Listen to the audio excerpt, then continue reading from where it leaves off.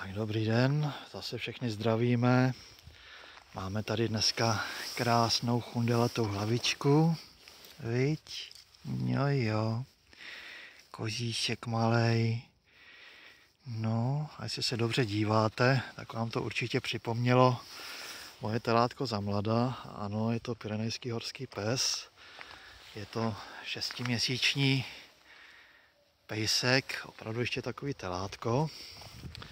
A já zase tady poprosím jeho majitelku, aby nám k tomu něco řekla a zeptám se na první věc, která samozřejmě napadne asi každýho, proč jste si vybrali zrovna tohle plemeno?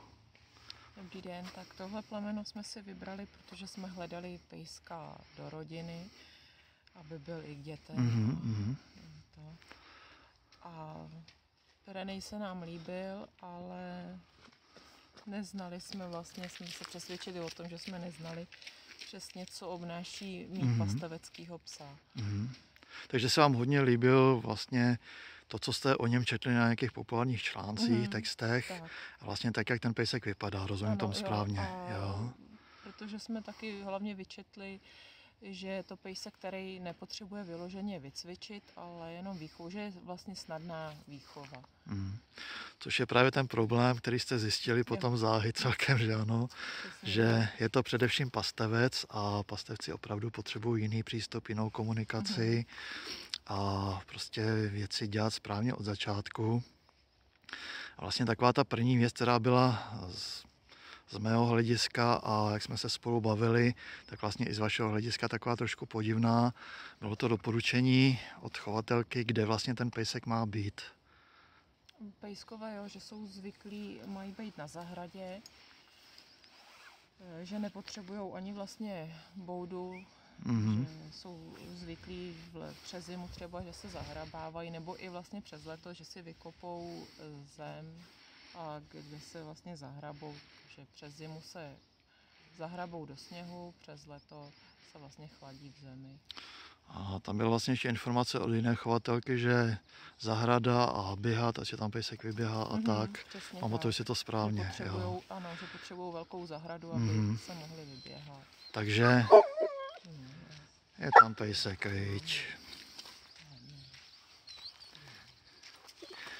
Takže vlastně tam nebyla vůbec žádná informace, informace o tom, že tenhle ten pejsek potřebuje především blízký kontakt s vámi, jo, pobyt s vámi. Jo, ono je to opravdu logický, protože těle pejskové pastevci byli vlastně vyšlechtěni k tomu, aby hlídali, hlídali stáda, to znamená, že vlastně oni si musí těm stádům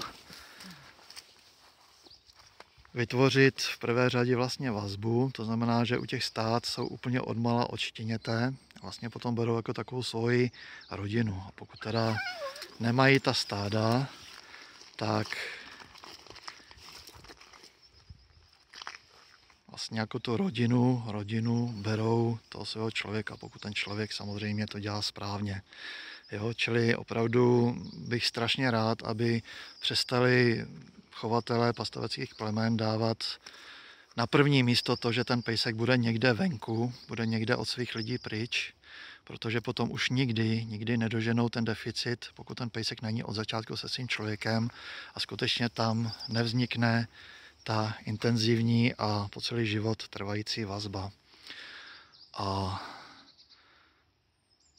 když se zeptám úplně teďka na rovinu, vlastně, kdybyste tuhle radu nebo doporučení nedostali, pejsek by byl kde? Kdyby jsme to nedostali, tak původně jsme právě plánovali pejska mít na zahradě. S tím, že teda až když jsme zjistili, co obnáší mít Pyreneje, tak právě od té doby jsme ho vzali rovnou do bytu a bylo to hned lepší. Tam vlastně ve chvíli, kdy jsme spolu mluvili, tak já jsem vám důrazně ano. doporučoval, říkám, Přesně opravdu má to své důvody, takže jsem strašně rád, že opravdu jste to hnedka změnili a mně se strašně třeba líbilo to, jak jste mi říkala před chvilkou, že vaše dcera mladší, že od té doby vlastně spí daleko klidněji, mm-hmm. líp. Jo, jo. jo, že opravdu vnímá z toho pejska takovou tu blízkost, tu ochranu a je to teprve šestiměsíční štěňátko. Mm-hmm.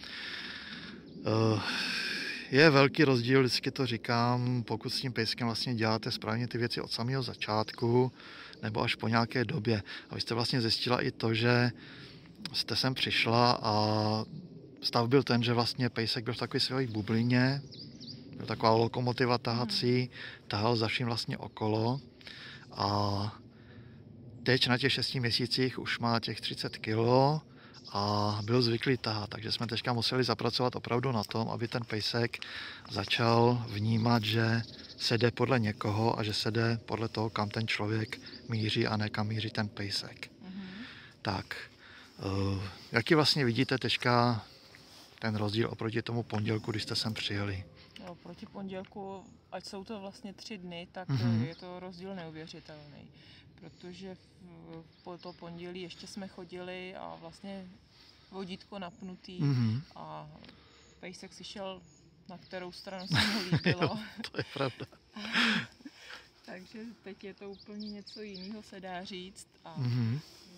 Učíme se neustále, ale věřím, že všechno bude nejlepším Určitě, pořádku. určitě, určitě, jenom říkám, už je to potom ten rozdíl, když začínáte třeba už na tom půl roku, mm. máte vlastně takhle dimenzovaného pejska, který opravdu už má velkou sílu a v podstatě, když se takhle zatáhne, mm. kam chce, že jo. jo, jo. My jsme si vlastně říkali spoustu věcí k té k výchově těch pastevců, co se týká současnosti, budoucnosti. Eh, dává vám to jako smysl, říkáte si, jo, takhle vlastně, když to vemu úplně přirozeně, takhle by to mělo být? Jo, určitě. Protože vlastně bylo i v těch prvních eh, dnech nebo měsících právě bylo poznat, že běžná takový ten cvičákovský výcvik mm-hmm. není. Mm-hmm, určitě ne, no. Právě proto jsem se i rozhodla vlastně kontaktovat vás. Super, to jsem strašně rád. A říkám, i když je to váš první pejsek, tak teďka opravdu máte k dispozici všechny informace pro to, aby to proběhlo dobře z vás mám dobrý pocit v tom, že cítím z vás to zdraví psí jádro, mm-hmm. takže vám popřeju, ať opravdu s pejskem fungujete co nejvíc. Malýmu, malýmu přeju, ať je s váma spokojený, šťastný, ať má s váma opravdu pěkný život Děkuji. a nikdy nezapomeňte na to, že opravdu vyplatí se s tím pejskem být v co největším kontaktu a skutečně brát ho jako parťáka, ne jako pejska, kterýmu budu jenom něco nařizovat, protože on vás potom brát nebude. Mm-hmm. Jo? Jak říkám, tam, kde jiný pejsek se schoulí, tak pejsek typu pastevce se vždycky postaví proti vám. Mm-hmm. Ale říkám, tady z vás mám opravdu velmi dobrý pocit a přeju, ať je všechno dobrý a hlavně, ať pejsek je zdravý. Děkuju. Tak jo, mějte se krásně. Děkuji. Ahoj, kožíšku. jo, jo.